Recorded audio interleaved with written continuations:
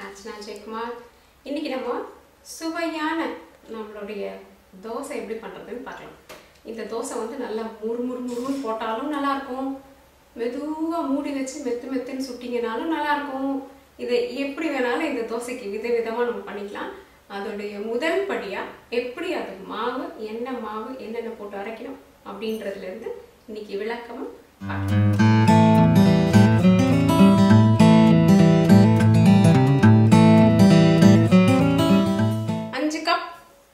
அரிசி. இல்லைன்னா கார அரிசி. என்ன அரிசி கிடைக்குதோ அது அந்த மாதிரி இருக்கும். இது போட்டுக்கோங்க. அரை கப் உளுத்தம் பருப்பு கால் கப் கடலைப்பருப்பு ஒரு தேக்கரண்டி வெந்தயம். இதை எட்டு மணி நேரம் ஊற வச்சிருங்க. இல்லைன்னா முன்னாடி நாள் இரவு ஊற வச்சிட்டிங்கன்னா ஊறினதுக்கப்புறம் எப்படி இருக்குன்னு இப்போ பார்க்கலாம்.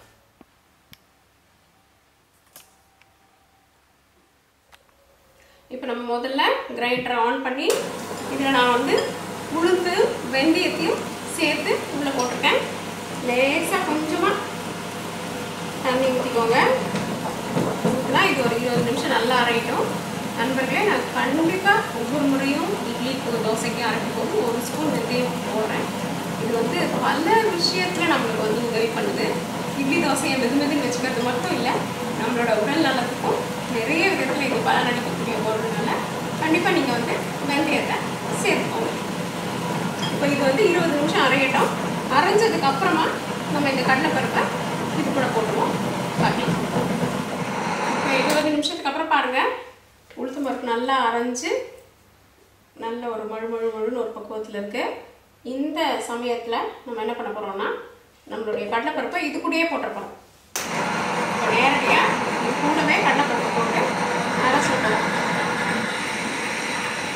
நல்லா மையாக அரைஞ்சிடும் கடலைப்பருப்பும் ஒரு பத்து நிமிஷம் அரைச்சா போதும். அதுக்கப்புறம் அதை எடுத்து வச்சுட்டு அரிசியை போடலாம். இதில் நீங்கள் முக்கியமாக கவனிக்க வேண்டியது என்னென்னா முடிஞ்ச வரைக்கும் நல்ல ஜில்லு தண்ணியை யூஸ் பண்ணுங்க குளிர்ந்த நீர் வந்து நல்ல நல்ல ஒரு இது கொடுக்கும் மாவுக்கு அதனால் குளிர்ந்த நீர் இல்லைன்னா சில்லு ஃப்ரிட்ஜில் வச்ச தண்ணியை எடுத்து யூஸ் பண்ணி ட்ரை பண்ணி பாருங்க கண்டிப்பாக நல்லா இருக்கும் நம்மளோட பத்து நிமிஷத்துக்கு அப்புறம் கிரைண்டர் நிறுத்திட்டு பாருங்க மாவு நல்லா புசு புசு புசுன்னு அப்படியே பொங்கி அரைஞ்சு வந்திருக்கு. கடலைப்பருப்பு உளுத்தம் பருப்பு ரெண்டும் சேர்ந்து அரைஞ்சதுனால மாவு நல்லாவே கணிசமான அளவு உயர்ந்து பொங்கி இருக்கு இதை நம்ம ஒரு பாதத்துக்கு மாற்றிட்டு அப்புறம் அரிசியை போட்டு இருபது நிமிஷம் அரைச்சி ரெண்டுத்தையும் கலந்து புளிக்க வச்சு சுவையான தோசை தயார் பண்ணலாம். உளுந்து மாவையும் கடலைப்பருப்பையும் சேர்த்து அரைச்ச கலவையை வந்து எடுத்துட்டோம் இதுலேருந்து. இதில் இப்போ நேரடியாக நம்ம அடுத்தது அரிசியை போட போகிறோம் அரிசி வந்து நல்லா மைய அரையணும்னு அவசியம் இல்லைங்க இதுக்கு. கொஞ்சம் குருணையாக எடுத்துட்டோன்னா தோசை நல்லா முறு முறு முறு. நல்லாயிருக்கும். பண்ண பார்க்கலாம். இப்போ நம்மளோட கிரைண்டர் ஆன் பண்ணிக்கிறோம். அரிசி எல்லாத்தையும் இதில் போட்டு அரைக்க போகிறோம். இருபது நிமிஷம் அரைஞ்சால் போதும். இது நடு நடுவாக பார்த்துக்கோங்க. இது வந்து மையம் அரைகிற மாதிரி ஆகிடுது இந்த கிரைண்டரை சீக்கிரம் நடக்குது அப்படின்னா நிறுத்திடுங்க. கொஞ்சம் ரொம்ப குறக்குறான்னு இருக்க வேணாம். கொஞ்சம் குறக்குறான்னு இருந்தால் தோசையோடைய முறுமுறுப்பு வந்து கேரண்டி நம்ம கிரைண்டர் நிறுத்திட்டோம் இப்போ பாருங்கள் மாவு அரைஞ்சிருச்சு அரிசி அரைஞ்சிருச்சு. இந்த பக்குவத்தை நல்லா பார்த்துக்கோங்க. இது வந்து பார்க்கறதுக்கு மைய அரைஞ்ச மாதிரி இருக்குது ஆனால் இங்கே பாருங்க நான் இந்த கரண்டியில் இப்படி தள்ளினேன்னா உங்களுக்கு அந்த திரி திரியாக தெரியுது பார்த்தீங்களா அந்த மாதிரி ஒரு ஒரு பக்குவத்தில் இருக்கணும். அதாவது மைய மாவு மாதிரியும் மை நெ- நல்லா நசுங்காமல் ஆனால் ஒரு சின்ன ரவை ரவையை விட ஒரு சின்னதாக ஒரு தட்டுப்படுற மாதிரி உங்களுக்கு தோணும். இதுதான் சரியான பக்குவம். மாவு நல்லா கலக்கிடுங்க. அரிசி அரைச்சிருக்கோம் இல்லைங்களா? அதையும் உளுத்த மாவையும் எல்லாத்தையும் நம்ம ஒன்றா கலக்கிறோம். கலந்துட்டு உப்பையும் போட்டுடுங்க இப்பயே.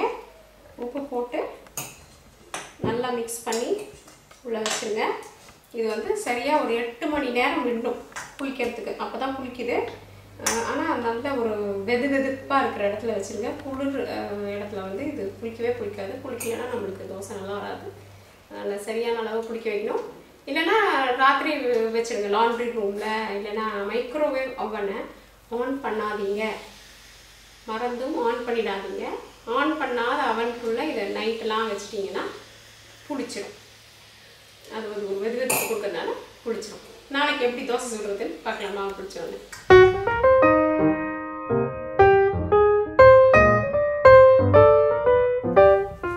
என்ன நண்பர்களே தோசை சாப்பிட தயாராக இருக்கீங்களா?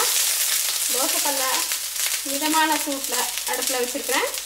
நான் யூஸ் பண்ணுறது ஒரு நான்ஸ்டிக் தவா நீங்கள் சாதாரண கல் இருந்தால் அதுவும் ரொம்ப நல்லாயிருக்கும் மாவு எடுத்து இப்படி ஊற்றிக்கோங்க அழகாக உங்கள் கையை வட்ட வடிவத்தில் இப்படியே சுத்த சுத்த உங்கள் தோசை தயாராகிடும் இதில் நீங்கள் கவனிக்க வேண்டியது என்னென்னா உங்கள் கையை இப்படி திருப்பி கொண்டு வராதீங்க. அது வந்து நீங்கள் ஏற்படுத்தி இருக்கிற இதில் பார்த்தீங்கன்னா சின்ன சின்ன ஒரு துளை மாதிரி ஏற்பட்டிருக்கு. இது வந்து காற்று உள்ளே போய் அந்த துளையை ஏற்படுத்துது. இதுதான் உங்களுடைய தோசைக்கு ஒரு முறுமுறுப்பை கொடுக்க போகுது. அதனால் நீங்கள் வந்து திருப்பி இப்படி இப்படி பண்ணிட்டீங்கன்னா அது அந்த முறுமுறுப்பு தன்மை போய் வேறு மாதிரி ஒரு தன்மை வந்துடும் அதனால் உங்கள் தோசை முறுமுறுன்னு இருக்கணும்னா இப்படி திருப்ப சுற்றாதீங்க ஒரே பக்கமாக சுற்றிக்கோங்க நல்ல எண்ணெய் தடவைனா பழகின இரும்பு கல்லாக இருந்தால் தோசை நல்லா வரும். சொல்லப்போனால் இரும்புக்கல் தோசை ரொம்ப சுவையாகவும் இருக்கும். இது நான் நான் வந்து நான்ஸ்டிக் கல் தான் நான் வச்சு யூஸ் பண்ணிகிட்ருக்கேன் இந்த தோசை பார்த்திங்கன்னா இங்கே பாருங்கள் கொஞ்சம் கொஞ்சம் இந்த கலர் மாற ஆரம்பிச்சிருச்சு இல்லைங்களா? மெல்லிசாக அந்த இடத்துல கலர் மாறிடுச்சு. இப்படி ஒரு பக்குவம் வரும்போது ஒரு திருப்பி திருப்பி போட்டுருங்க. இது ஒரு ஒரு நிமிஷம் வச்சா கூட போ ஒரு ஒரு செகண்ட் வச்சா கூட போதும் இது. ஏன்னா அந்த சைடில் லைட்டாக அந்த சூடு படணுன்றதுக்காக நம்ம திருப்பியிருக்கோம். இதை நீங்கள் மூடி போட்டு சுட்டிங்கன்னா இதை திருப்ப கூட வேண்டாம். இந்த பக்கமாகவே வச்சுக்கலாம்.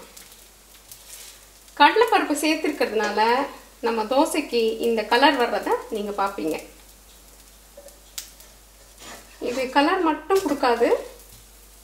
முறுமுறுப்பு தன்மை வந்து எப்படின்னா தோசைக்கு ரொம்ப சீக்கிரமாக போயிடும். அப்படியே வதக்கு வதக்குன்னு ஆகிடும் ஆனால் இந்த பருப்பை நம்ம சேர்த்துக்கிறதுனால இந்த முறுமுறுப்பு தன்மை நீண்ட நேரத்துக்கு இருக்கும்.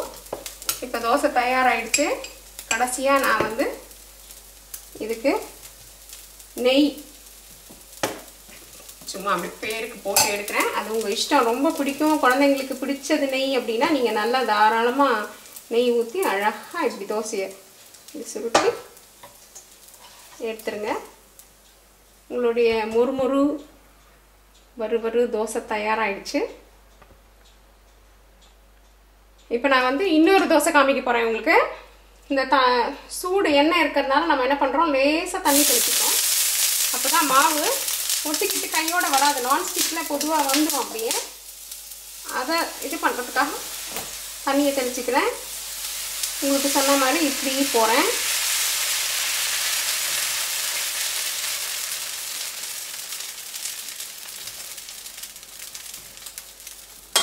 ரொம்ப சூடில் வச்சுக்கிட்டிங்கன்னா தோசை கரிஞ்சு போயிடும் நல்லா வராது. அதனால் மிதமான சூடு வச்சுக்கோங்க. இந்த சின்ன சின்ன விஷயங்களில் நீங்கள் கொஞ்சம் கவனம் செலுத்தினீங்கன்னா போதும். உங்களுடைய சமையல் வந்து அதிக சுவை உள்ளதாகவும் ரொம்ப நல்லாவும் வந்துடும் இது சின்ன சின்ன விஷயம்தான். ஆனால் இதை தான் நம்ம என்ன பண்ணிடுறோம்? அவசரத்தில் கோட்டை விட்டுடுறோம். அதனால் இந்த விஷயங்களை கொஞ்சம் கவனிச்சுக்கோங்க. அதே மாதிரி நான் என்ன பண்ண போகிறேன் திருப்ப வர அதாவது உங்களுக்கு இந்த பக்கம் வேகலைன்னா இன்னும் ஒரு ப- இன்னொரு விஷயம் என்னென்னா இது வேகலைன்னா உங்களுக்கு திருப்புறத்துக்கே வராது. தோசை அப்படியே இதுவாகிடும் இதுவாயிடும் பிரிஞ்சு போயிடும். அதனால் வெந்துருச்சுனா தான் திருப்ப வரும். இப்படி திருப்ப வரணும். நம்ம இந்த திருப்பி போட்டு நான் என்ன பண்ண போகிறேன் ஒரு செகண்ட் தான் வைக்கிறேன். ஒரு செகண்ட் இல்லை ரெண்டு செகண்ட் தான் வைக்க போகிறேன் ஏன்னா அந்த நல்ல வெந்துருச்சு மாவு மெலீஸாக இருக்கிறதுனால வெந்துருச்சுன்னு நம்மளுக்கு தெரியும். ஆனாலும் அதை ஊர்ஜிதப்படுத்திக்கிறதுக்காக நம்ம திருப்பி போட்டுட்டோம். இப்போ பாருங்களேன். உங்களுக்கு வந்து இந்த ரெஸ்டாரண்ட்லாம் போனோன்னா நல்ல தோசை எவ்வளோ அழகாக போட்டு தராங்க. அப்படின்னு ஒரு ஆதங்கம் இருக்கும். இப்போ நம்ம அந்த தோசையை நம்ம வீட்டிலேயே பண்ண போகிறோம் இதை சூடு நெருப்புக்காக பயப்படுறவங்க தயவுசெய்து கல் மேலே வச்சு பண்ணாதீங்க. கொஞ்சம் சூடு பொறுக்கக்கூடிய தன்மையோ கொஞ்சம் பழக்கம் உள்ளவங்களும் இதை பண்ணுங்கள் இந்த பாருங்கள் இந்த தோசையை கொஞ்சம் லேசாக கத்திரியால் ஒரு பக்கம் கத்திரிச்சிருக்கேன். அப்புறம்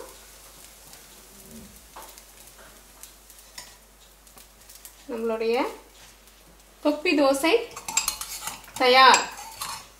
இது மேலே சுட சுட நெய் ஊற்றிட்டு குழந்தைங்க கிட்ட கொடுங்க. சந்தோஷமாக பிள்ளைங்க சாப்பிடுவாங்க. தயாரான தொப்பி தோசை. என்ன நண்பர்களே? தோசை சாப்பிட எல்லாரும் தயாராகிட்டீங்களா சொன்னதை கவனமாக அழகாக பண்ணிங்கன்னா உங்களாலேயும் இது மாதிரி கரக்கராக ஒரு ஒரு தோசை பண்ண முடியும்.